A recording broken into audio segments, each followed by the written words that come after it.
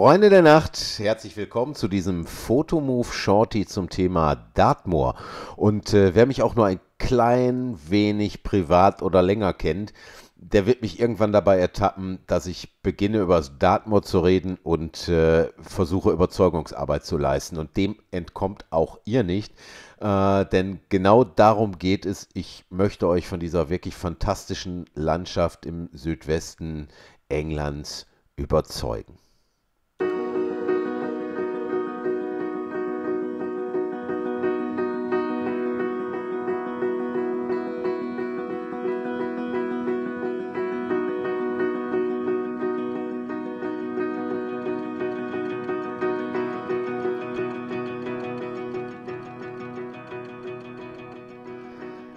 Das Dartmoor liegt in der Grafschaft Devon im Südwesten Englands und äh, ist vor allen Dingen groß.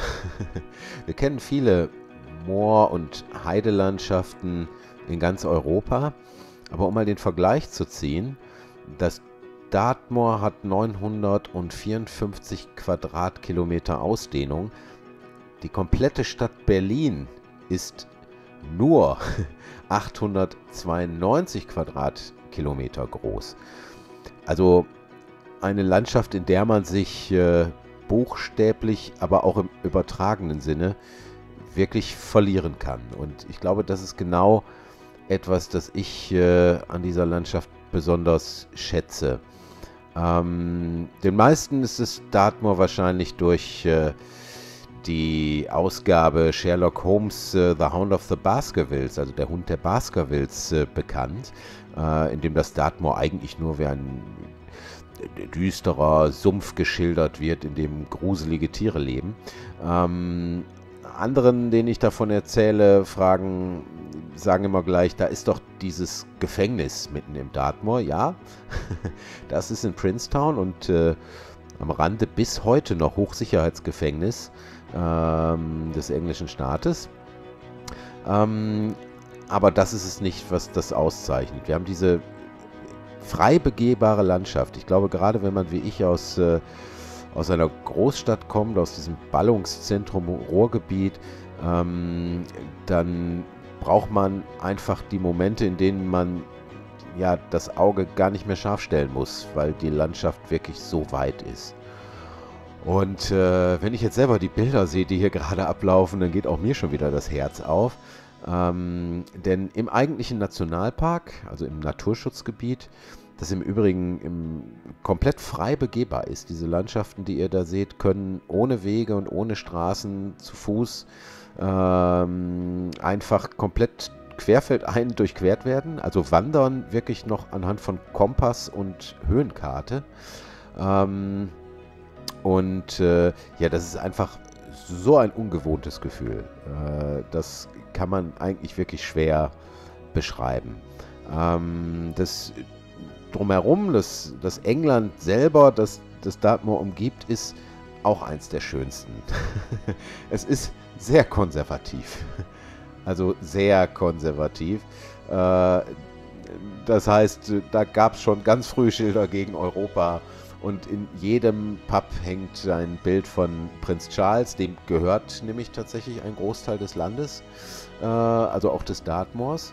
Ähm, aber ich sage immer, sobald ich äh, in Dover von der Fähre gestiegen bin, dann werde auch ich, der eher linke Demokrat, zum heimlichen Royalisten.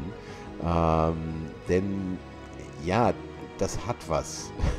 ähm, das, das äh, ist eine Form, England zu erleben, die wirklich so ist, wie sie ja im Englischbuch steht, im, im Englisch-Bilderbuch letzten Endes. Die Grafschaft Devon ist wunderschön. Äh, nicht umsonst werden dort und in der Nachbargrafschaft Cornwall auch die schönen Aufnahmen für Rosamunde Pilcher-Filme gemacht. Äh, zahlreiche Barnaby-Folgen sind in der Gegend gedreht worden. Und es erinnert auch an der Doktor und das liebe Vieh äh, wobei das im Yorkshire Moor gedreht wurde. Ähm, also alle die Stereotypen, die England vielleicht auch begehrenswert für uns machen, finden sich dort wirklich in äh, großem Ausmaß. Ähm, da zu sitzen, einen Cream Tea zu nehmen mit Scones, äh, also einen Tee mit Milch und äh, äh, ja, dieses, äh, dieses unglaublich leckere Gebäck äh, auf das man übrigens zuerst die Clotted Cream macht und dann die Erdbeermarmelade. Ähm, das ist nämlich Devon-Style und äh, das Dartmoor ist in Devon. In Cornwall ist das umgekehrt, aber das ist eine Unsitte derer, die in Cornwall leben. Ähm, ja, ich glaube, man merkt das. Ich komme direkt ins Schwärmen. Ähm, fahrt in diese Gegend, fahrt vielleicht auch mal mit mir. Ich bin, wie gesagt, seit rund 25 Jahren jedes Jahr eigentlich mindestens einmal, wenn nicht sogar zweimal dort. Ich gebe dort auch äh, in Abständen zumindest Fotoseminare, verreise natürlich auch privat in die Gegend.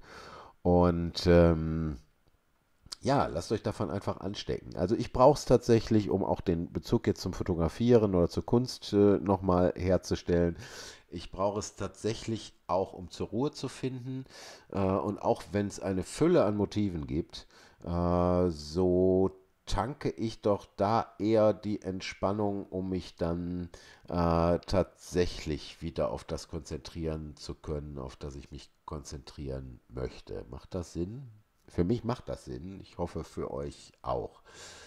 Ja, das wollte ich euch vorstellen, weil es mir wirklich sehr am Herzen liegt und auch dieses Jahr werde ich wieder dorthin reisen und freue mich da schon sehr drauf. Wer weiß, manche von euch, die meisten von euch kenne ich ja auch wirklich persönlich. Vielleicht ist von euch wieder jemand dabei, hat sich jetzt zusätzlich nochmal überzeugen lassen. Und äh, ja, ich hoffe, ihr habt die Bilder genossen und ähm, wir sehen uns im Dartmoor.